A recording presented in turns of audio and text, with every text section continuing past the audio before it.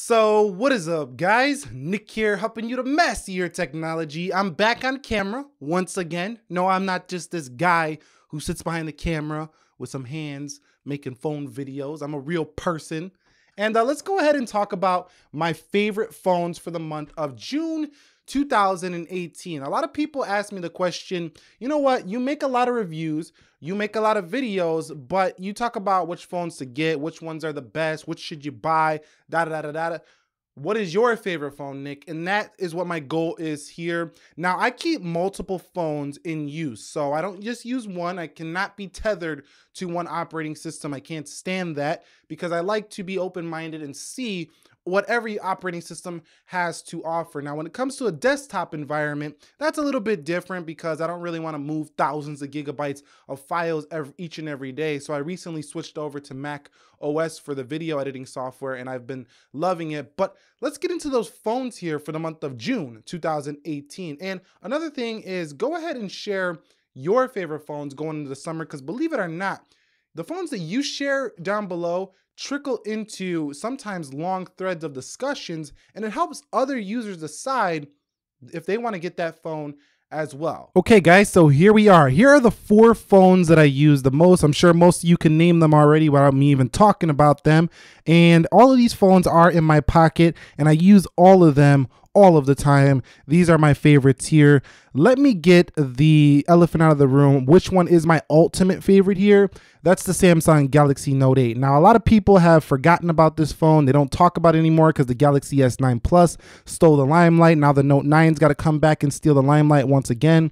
But I still like the Note 8 even more than the Galaxy S9 Plus just because it has a pen. Now, while the S9 Plus does have superior low light capabilities, I just can't take that phone over this phone because it's just bigger. It just feels like the ultimate Samsung phone here with the Note 8. Now, the reason why I think that this is the ultimate phone is because mostly because it feels like a little mini computer, and that's mostly due to this pen. You can hover when you are in the browser. So if I go and do any search in the Samsung browser, for example, I can go ahead and, you know, just hover just like a real computer here. So let me go ahead and just search. I was searching the Cavs when they were playing. Let's go ahead and you could see if I do this, I could just hover down and that makes it act like a little mouse when you're using the device. So having this tool makes it feel like a little mouse and then you could go ahead and cut things out. You can, I don't know, the, just the way you navigate this phone, it just feels like a mini computer. It's really cool. And you could stick things into the USB-C and transfer files with this. You can put mouses in and it's got the largest feel of any smartphone. So for me, the ultimate smartphone still is the Note series, even though it doesn't get as much attention as the other devices. It has pretty much everything. It has the beautiful large display. It has the wireless charging. It has fast charging. It doesn't have the best battery life and it doesn't have the best fingerprint location, but it has great cameras and it has an awesome, you know, expandable storage. So overall to me, this is the ultimate smartphone, but I don't use it all that much right now because of its size on the day to day. Sometimes it's just too big, too much to handle for the day to day. It's just a little bit, you know, cumbersome using this in your pocket all the time when you're out doing things to me this is a phone that's really good for business use or you know if you're just trying to not have no tablet and you just want everything in one package that's when i recommend the samsung galaxy note 8 it is my favorite ultimate smartphone. Let's get on to number two, which is going to be right now the Google Pixel 2 XL. Now, the Google Pixel 2 XL is my second favorite phone right now because it's such a really clean, minimal software here in Android 8.0 Oreo. Also, I really do like the display. A lot of people say the blue tint is a horrible thing, but once they brought the colors mode, I really just appreciate the resolution, how high it is on this phone. It's a really sharp panel, even though you know, it has that little tinge sometime of blue. It's a really sharp panel and it really came back when it got the colors mode that allowed it to go into the saturated feature. So it's a really good phone once you get that update. And I really like the resolution. Also, I like the fact that you can squeeze this phone to activate Google Assistant. It's very handy, especially when you got your hands full. You got one hand over here full with something, you know, your bicycle riding or something, and then you go ahead and you squeeze. You can just ask questions, or if you're running or whatever, and you just don't got time to be pressing buttons, just squeeze the phone ask it something. I really appreciate that. I also appreciate the amazing camera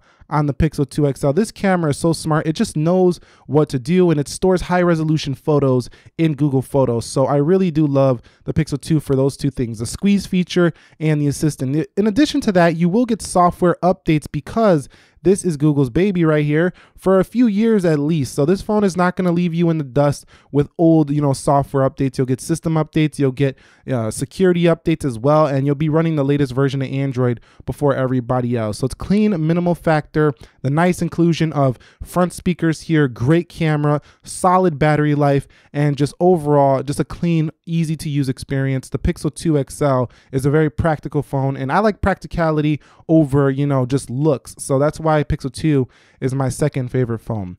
At number three is the iPhone 8 Plus.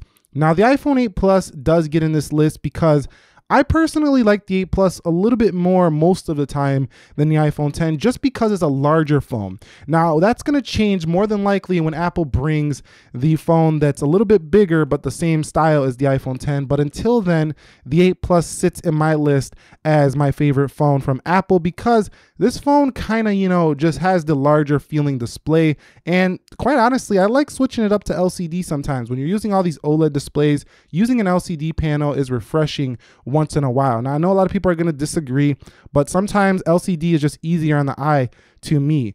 And overall, I really liked the Plus series of iPhones ever since the, you know, 6S Plus came around. And one thing I really like is this mode right here, how you can switch into the landscape. Now the S9 Plus can do that as well, but the Note 8 can't. But I really do like that. It makes it feel like a little iPad mini.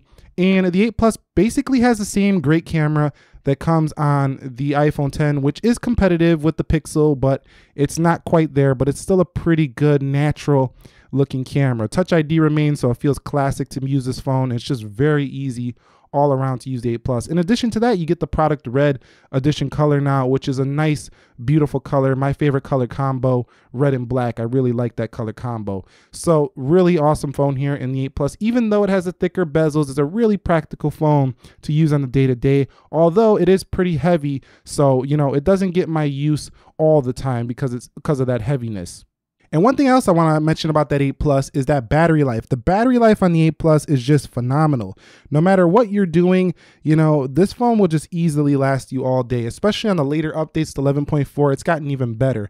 And finally, let me talk about the Huawei P20 Pro, the underdog here, the one nobody's going to comment about. I see you guys. Anytime I talk about the P20 Pro, nobody cares almost nobody comments. I get like two people saying something about the P20 Pro, and likely in this video, you're gonna ignore the fact about this section I'm talking about, the Huawei phone right here, because it's not popular where you're at, or because you're just more loyal to Apple or Samsung or someone else. But let me tell you something, let me set the record straight here. This Huawei P20 Pro is definitely playing on the same level as all these phones, and I'm telling you this because I've experienced all of them. It actually has better battery life than all three of these. It has a similar display to the iPhone 10, and the Kirin 970 is a very fast processor. It's very fluid. EMUI doesn't really slow down too much. Yes, it's not the prettiest operating system on the planet, but this phone just works. The Huawei P20, it just works. I have one problem with it. Sometimes the brightness levels automatically change